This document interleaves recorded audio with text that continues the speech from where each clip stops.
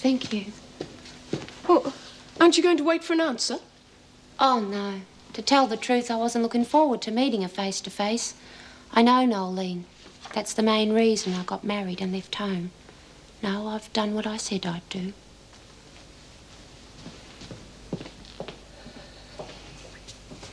I'll call into the factory on the way home, see how the first day went. Right. Ah, Mrs. Davidson, Noeline Burke's sister's down in reception. There's some talk about the two younger children being put in a home. Oh, dear. And What does she expect us to do about it? Well, she wants to find out if Noeline can come up with an alternative. Well, Burke's in solitary, no visitors. Yes, yes, she knows that. She wants me to get a message to her. All right, then. Uh, Mr. Fletcher, would you take Burke to Mr. Reed's office, please? Thank you.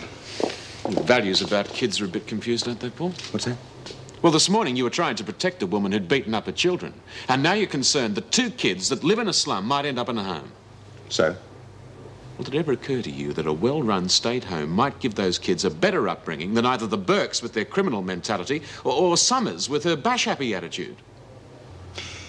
Jim, if the Burke children do go into a home, it could send Noeline round the bend. I know she's a very rough sort of a person, but in her own way, she does care about them. As for Gail Summers, she's emotionally bankrupt because nobody cares. Now, what do you want me to do? Sacrifice both of them for the sake of the children? Oh, hadn't that occurred to you?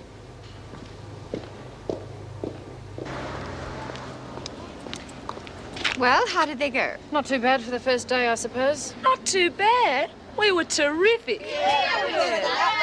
Well, it's good to see you in such high spirits. I'll see you tomorrow morning. Ah, Mrs. Davidson. Well, they seem happy enough. How about you? Oh, yes, indeed. Uh, why don't you come inside and have a cup of tea? I'll show you their production shop. Yes, I'd like that if it won't hold you out. Not at all. You know, some of those girls are pretty quick on the uptake. yes, you could say that.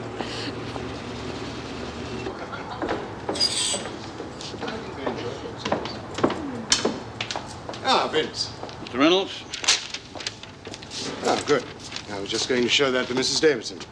There. Not bad, eh? I'm afraid it really doesn't make much sense to me. The main thing is they did the job and you were pleased with them. Oh, yes, very. Especially since it was their first day. Now, let's have that cup of tea, shall we? Yes. Uh, would you like to sit down? Thank you.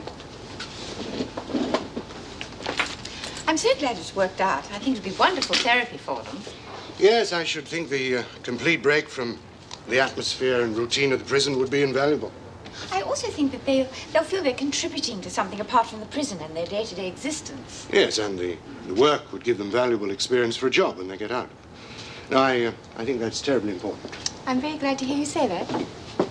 Excuse me. Mr. Reynolds, you have to check those figures before the accountant arrives. Oh, yes. Thank you, Kay. I'll be right there. Oh, what a shame. I was looking forward to a good long chinwag. Look, why don't we meet later and have dinner? We could pick up where we left off. No, I, I don't think so. But there's a very good restaurant. Mr. Reynolds, I think it should be made quite clear from the outset that ours is to be a professional relationship only. Oh, I'm sorry. I didn't mean Good to. Good afternoon.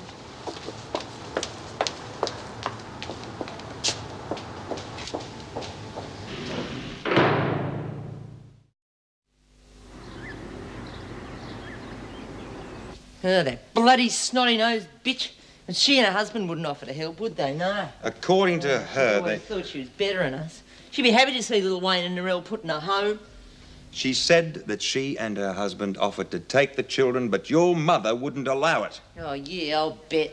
Because she wouldn't offer to chuck Mum the odd dollar each week, would she? No, she can afford that. Her bloody husband's working. Would your mother have accepted it?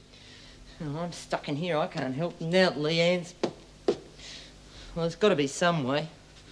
Look, I've been onto the welfare department. Your mother refuses to take a pension. Therefore, there is nothing they can do, I'm afraid. We don't take social welfare. I told you, the only help you get in this world is to help yourself. Yes, yes, and that's done you and your family a lot of good, hasn't it? Don't interrupt me while I'm thinking.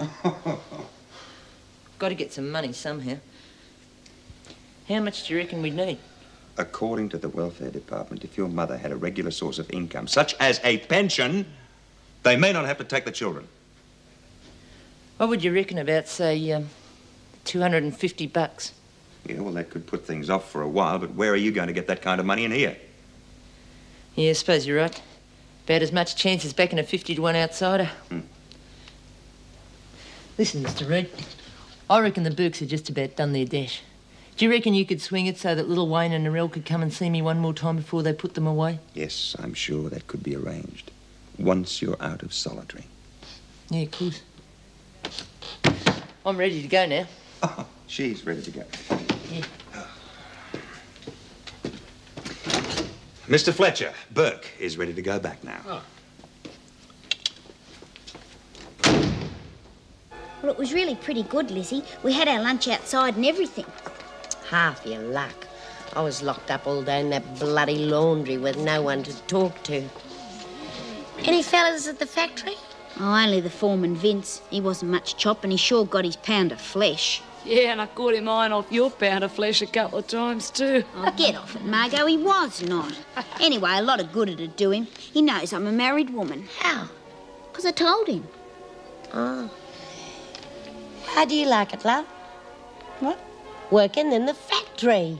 Oh, it's all right, you know, if you get a kick out of sewing sleeves and dust coats. She's still thinking about escaping, and I've tried to tell her she'll never get away with it, but she's thinking of ways to use working at the factory. You can't do that. You'll spoil it for the rest of us. What you have in mind? Nothing much, really. I mean, the place is locked up tighter than Vera's chastity belt. That's not locked. That's rust. You know, uh, there is a possibility. That bookkeeper. She seemed very open and friendly. Do you reckon she could smuggle something in here for us? Lizzie. She could smuggle in some clothing for you, you know, as a disguise for when you want to escape. Oh, Lizzie! Well, I was only trying to oh. help. You reckon she could smuggle in a muffler for that bloody bell? Try putting your mouth over it. Righto, ladies, muster, everybody out. Oh. Mrs. Jackson, do you reckon you could do something about getting me on the detail for the factory? I think they're saving you up for a new scheme, Lizzie. It's going to be a new one. What's it going to be? Bottling whiskey at the distillery? Oh, beauty!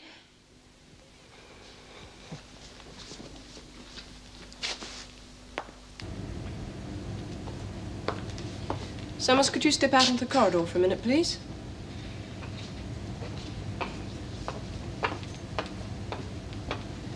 Ladies, this is Gail Summers, who arrived this morning. She's in on remand for a few weeks. What they get you for, love? Shoplifting. I couldn't raise the bail. What a shame. You married? Any kids? How many? Three. Oh. Stevie and Katrina. Jason. Oh, come on, don't get upset, love. Is this your first offence? Yeah, but if they send me to prison, they'll take the kids away from me. No. If it's your first offence, they'll probably let you off on a bond. Anyway, lots of the ladies in here have custody of their kids, haven't they, Lizzie? Yeah. So you look on the brighter side. You gonna eat with us tonight? Oh, no, thanks. I'm not hungry. Adams, Bryan, Burns, Gaffney, Harper, Nagel, Birdsworth. Keep your chin up, eh? And I'll see you later. I certainly will be glad to get home today. I take it the first day at the factory wasn't exactly a picnic. Some people thought it was, but it's doomed like every other project they get going. Yeah, I can't see it taking off myself. Well, the factory foreman didn't help the situation either. The way he treated me, you'd think he was in charge of the prisoners. And then the owner took it into his head that he'd allow the women to eat outside. Hmm. He went straight over my head. He rang Mrs. Davidson before he even mentioned it to me. Hmm, it sounds like another Paul Reed. You know he's trying to get that Summers woman off the child bashing charge? I suppose he wants her free so that she can bash her kids whenever they happen to knock over the milk jug or. Now, that's not fair, Jim. I think losing your own kids has coloured your reasoning. That wasn't necessary. Well, I think it was. All you can think about are the kids. Of course they've got to be considered. But what about the mother? Well, all right. Give her psychiatric treatment, but give it to her in prison so at least she knows she's being punished for what she did. Punished? Have you seen her? She's a wreck. I agree with Jim. She should be kept in custody for the children's protection. And how would you know, Vera? You haven't even had children of your own. If you haven't been there, don't give an opinion. Do you really feel that sympathetic to Summers? Or are you just feeling guilty at helping to put her in here in the first place?